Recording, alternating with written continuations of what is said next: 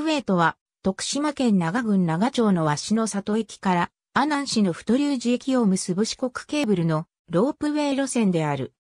全長2775メートルで、西日本で最長、日本で最初の山越えを行うロープウェイである。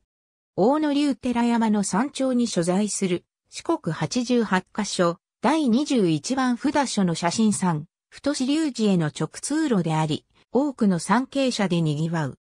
従来道寺は徒歩でしか登れない上、変路転がしの一つと呼ばれる難所であったが、この路線の開通で多くの参拝者が容易に登れるようになった。運営は四国ケーブル株式会社が行っている。ロープウェイで移動中、岩場の大野留学の上で修行している様子の空海の座像が確認できる。